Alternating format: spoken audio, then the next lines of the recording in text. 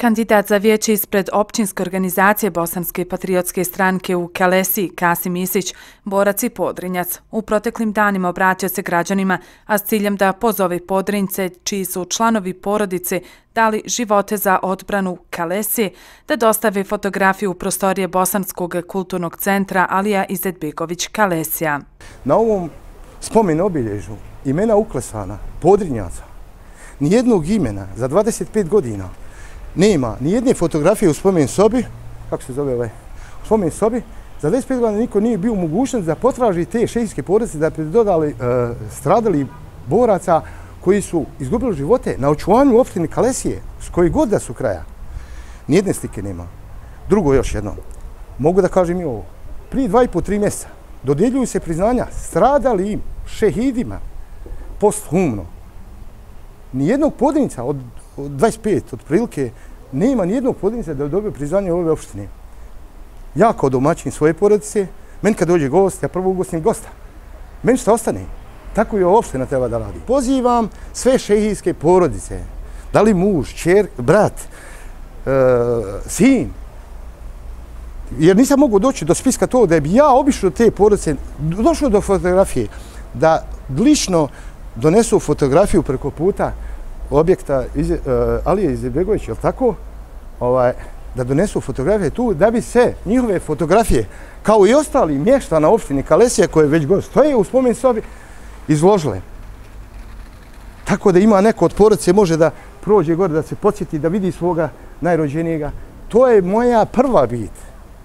Ali sve ovo što radim, inače, nisam nikad volio politiku.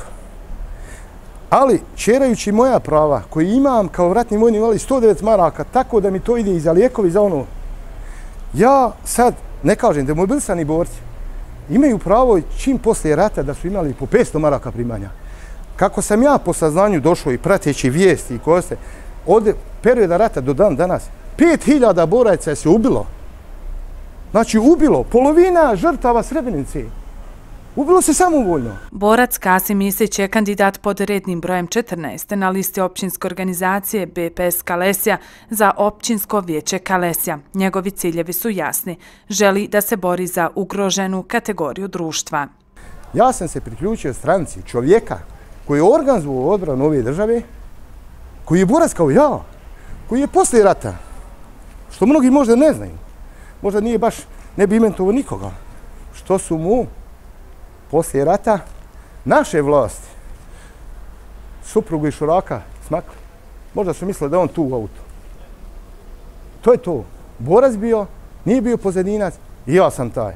Pa poručujem svim borcima, ako ne želi da pomisli da ona spave ispred vlade u Sarajevu u šatorima, to ja nikad ne bi, pored moje bolesti da se još prhladim, čime da se liječim, što nikad ne bi dozvolio da spavaju mjesec dana.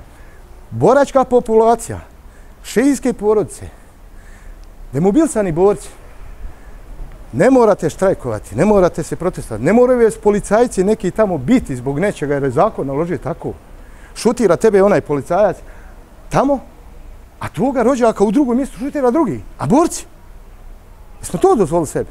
Znači, uzmite hemijsku ruke, priključite se Sefer Halidoviću generalu, to je naša populacija borača. Kogod kaže da je borac, i da je patriota. Nije. Sam naziv naše stranke, patriotska, BPS, Bosansko-patriotska stranka, patriotizam znači boračka populacija. Priključite se, ako se ne priključite, ja prvi ću se smijati vama da vas neko kupi za 50 maraka. Ja sam na listi broj 14 vijeća opštinskog Kalesija, Sefra Hlilovića, Broj 14. Borit ću se za boračku populaciju, nebitno koje kategorije. I penzionere. Zašto? Zato što sam ja boračka populacija i istovremeno penzioner. U slučaju da se ja borim za to, kad se bojim za svoja prava, vojnog invalida ili borca i penzionera, znači, borba svi ostali preko mene, znači, borba za mene, ostvari mi njihova prava.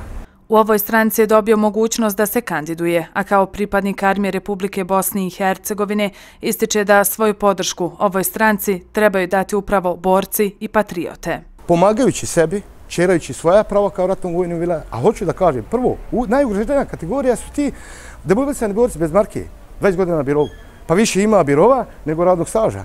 Prvo oni. Pa onda, vojni invalidi kojima ako je se po maraka dalo demobilisani borcima, tako da ja sad imam manje primanje kao vojni invalid od demobilisanog borca. Volio bi da mi ukinu vojnu invalidninu, ako će smatrate da trajno pet maraka po mjesecu provedena na ratištu isplaćuju, tako da bi ja imao duplu invalidninu i još 30 maraka više. Ovako imam jednu invalidninu i 30 maraka manje od onoga po pet maraka. Jer bi ja inače tako imao 242,5 marke, sad imam 209. Protiv nisam ni toga, ne tražim ni toliko. Kad su dali po pet maraka, zašto nisu demobil, o, ratnim vojnim invalidima po marku, dvije po mjesecu dali na invalidinu? Ja sam zadovoljan. E, mrzio sam politiku, rekao sam, ali sam se pronašao gdje da se priključim kojoj političkoj stranci. Znači, general Sefer Halilović, uključio sam se u politiku što sam imao uh, ogromni ja, zdravstvenih problema, sudskih problema, država, država koja o meni nije mislila, država koja me je gledala da uništi, znači boreći se za svoja prava, što svi po, od boračke populacije doživljamo, znači to je to. Sad da kažem, znači ja sam i po sudovima bio i, i, i, i po svemu, nije niko imao razumijevanje. Borba bi moja bila, ne da kad me pozovu da budem na sastanku vijeća, nego i da dođem nekad da neke stvari rešavam tuđe probleme, da dolazim do dokumentacije, da prosleđujem televiziju, da tužbu podnesem protiv nekoga, nikakav problem nije to. Ako ja u ime građana podnesim tužbu, a u opštini, u vijeću, znači smatram da bi opština ili država trebala snositi malo te troškove, sudske troškove, a ne ja. Jer se ne borim za se samo, borim se za kompletan, kompletnu populaciju.